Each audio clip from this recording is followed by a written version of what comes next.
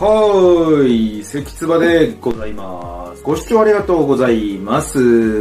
今日の動画は私が一番最初に運転したバスの話をします。よろしくお願いいたします。バスだとね、ここから入るのが一番いいというか、まあ敷居は低いというか、一般的かなっていうことですよね。なんかバス運転してみたいなーなっていう方結構いるようですので、こういうのもいいのかなーなって思って語ってみます。よろしくお願いいたします。はい、僕の動画ではね、日々こうやってバスのこと、車のこと配信しております。興味がある方はぜひともチャンネル登録、高評価お任せしますので、よろしくお願いいたします。各種 SNS やっております。特に X の投稿が多めですね。X の投稿がこちらのメインチャンネルの内容になってくることが多いですので、興味がある方はこちらもフォローのほどよろしくお願いいたします。ショート動画もやっております。X のショート、TikTok、インスタ、リール、YouTube、ショート、そういったものをやっております。こちらはメインチャンネルをこう圧縮したものをパッパパッパ見る感じに仕上げています。こちらも興味がある方はフォローよろしくお願いいたします。あとは月額490円でメンバーシップやっております。メンバーシップの方では非常に盛り上がっております。バスのこと、車のこと、あとはここでは言わないことどね、20人くらいがね、集まって、週1土曜日、もしくは水曜日にやっております。興味がある方、お待ちしておりますので、ぜひともよろしくお願いいたします。はい、それではね、始めていきます。はーい。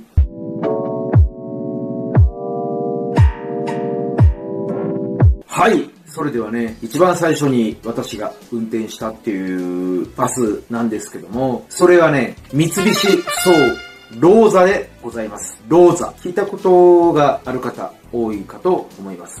見たこともあるでしょうね。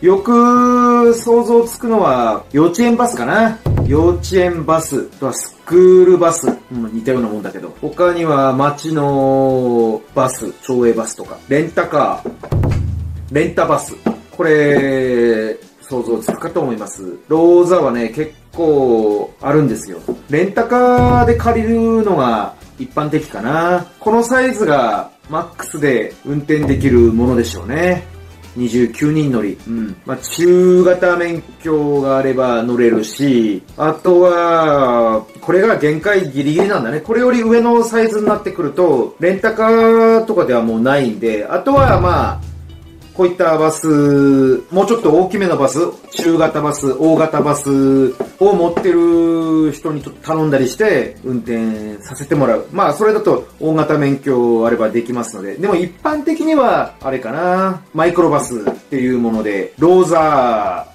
ですかね。あとコースターっていうものもあるんですけど、トヨタコースター。はい。他にもいっぱいあるんですけども、まあ、とりあえず、このローザの話ですよね。まあ、ローザとコースター、あリエッセ2なんかはね、まあ似たような感じなんで、まあ借りられるかと思います。はい。ローザは三菱輸送が誇るマイクロバスなんですけども、小型ですね。これ非常に使い勝手がよろしくて、ちょろっとした送迎にも使えますし、あとは路線バスなんかにも最近はありますよね。まあコミュニティバスとかね。あとは貸し切りバスでもこのタイプは使われるかと思います。はい。ちょこちょこって。うん。ちょっとした少人数旅行ではありますよね。貸し切りバスでも。あとはレンタカーだね。レンタバスも観光仕様のものとか、ローザ借りることできますので、それはね、いろんなレンタカー屋に頼めばいいかと思います。日本レンタカーはローザ多いのかな？うん。まあ他にもね、トヨタコースターはあるんだけど、トヨタレンタリースで借りられる。これがまあどっちかっていうと一般的なんだけども、まあ私が一番最初に運転したバスってことで、ローザの話をしてますけども、ローザね、非常に乗りやすくて、うん、お手頃サイズ。あとはエンジン音なんかも非常によろしくて、うん、まあバスの入門って言ったところでしょうか？三菱不走、ローザは。うん。まあ YouTube 動画もいくつか上がってますけども、いろんなのありますよね。今の方のローザ。これだと、まあ令和顔のローザ。まあ、シフト操作は AMT、ディオニックが一般的かな、今は。まあマニュアルもあるんですけどもね。シフトポジションがちょっと癖があるものなんだけど。うん。あとは、まあ、前期型のローザだと、まあ、ディオニックもあるっちゃあるけど、まあ、マニュアルも普通にあるし、うん。その前とかも。うん。でも結構ローザは借りられると思いますよ。うん。これ音いいんだよね。エンジン音ね。ローザ。エンジン音本当に良くて、私はこの感じいいですよね。うん。まあ、運転してても、まあ、バスの入門っていうことなんだけども、割と運転するのも楽しい感じですよ。うん。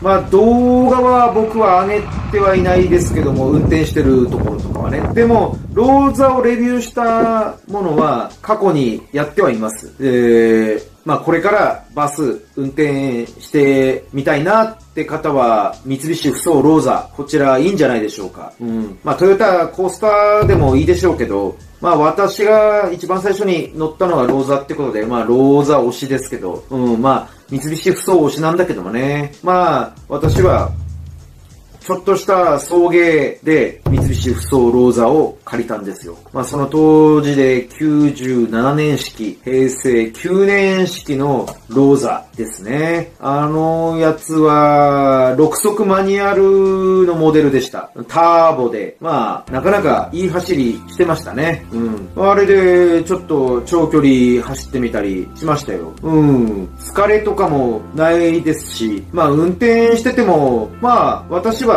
楽しかったです。ローザー運転するの良かったですね。まあ普通の一般的なバスと比べると、まあタイヤの位置なんかも運転席の下だし、普通一般的なバスはね、もうバスの形状、あのリアエンジンのモデルは、後ろにね、エンジンあるバスは、まあ運転席がフロントのタイヤの前に行ってるじゃないですか。一般的なバスはね。でもローザだとね、違うんで、トラックみたいな感じで、運転席の下にタイヤがあって、エンジンもね、キャブオーバー型、まあ運転席のちょっと後ろの方にあるんですよ。フロントにね、まあフロントの下にエンジンあるんですけども、まあ2トントラックみたいなもんでしょうね。キャンター、あれだと同じような感じですよ。まあエンジンもそうですし、まあ車体の形状はもっとね、大きいんだけど、うん。ただ、キャブオーバー型でもバスっていうことで、うん。シャーシはね、まあバスというか、まあどっちかというと2トントラックの、まあロングボディ、ワイドロングボディに近いような形ですかね。うん。でも一応バス形状になってるんで、うん。まあ箱型というか、ああいったものをあ運転してみたいなって方は、まあ、ハイエースとかでもね、いいんでしょうけどね。まあ、コミューターとか、このハイルーフのやつあるじゃないですか。グランドキャビンというか。あのハイエースでも、それは味わえるんだけど、本当の意味でのバスっていうこととなると、やっぱローザかなって、もしくはコースターとか、こういったものがいいんじゃないでしょうかね。うんま。非常にね、乗り心地とかもいいし、お客様というか、まあ乗車する方にも、まあまあ、うん、悪くはないと思いますよ。まあ、非常に中も内装も、まあ、本当の送迎じゃなければ、レンタカーとかで借りるバージョンであれば長距離とかも普通に可能なので、まあ、乗せられていても、そんなに不満はないんじゃないかななんて思いますけど、いかがですかね。うん三菱ふそうローザ。はい。私はこちらのバスおすすめですので、まあまあ、皆様、もし興味があれば、まあ、レンタカーでも、あと誰か持ってる人とでもいれば、運転させてもらったりするのもよろしいんではないでしょうか。はい。今日はね、三菱ふそうローザの話でした。いかがでしたでしょうか僕の動画ではね、日々こうやってバスのこと、車のことを投稿しております。興味がある方はぜひともチャンネル登録、高評価お任せしますのでよろしくお願いいたします。各種 SNS やっております。特に X が一番多いですかね。X の内容がこのメインチャンネルに反映されていることが多いです。興味がある方はこちらもフォローよろしくお願いいたします。各種ショート動画やっております。ショート動画は X のショート、TikTok、Instagram、リール、YouTube ショートやっております。メインチャンネルの圧縮、タイパ的にパッパパッパ見たい方は、こちらもフォローのほどよろしくお願いいたします。あとは月額490円でメンバーシップやっております。メンバーシップでは週1から2回土曜日かもしくは水曜日に生配信やっております。非常に盛り上がって今現在20名の方が参加なさってますけども、まあ常時10人前後の方が入れ替わり立ち替わりで来てるような感じです。非常に盛り上がっておりますので、えこちらバス、車のこと、脇あいあいとね、バス運転手の休憩室って形で僕がまあ語って、まあ、みんなはね、チャット欄でいろんなことを話してもらってっていう形で、まあ、和気あいあいとやっておりますので、こういったもの、ぜひとも興味がある方は参加のほどお待ちしておりますので、よろしくお願いいたします。それでは、関つばでございました。ご視聴のほどありがとうございました。失礼いたします。はーい、どうも